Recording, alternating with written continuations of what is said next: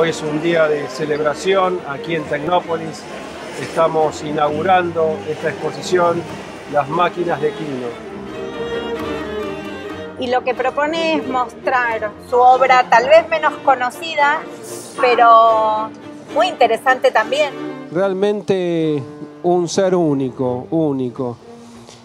Y, el, y su talento, su talento, la posibilidad que tienen los poetas y que tienen los caricaturistas de con un dibujo, con tres o cuatro palabras, mostrarnos el mundo, mostrarnos a la sociedad.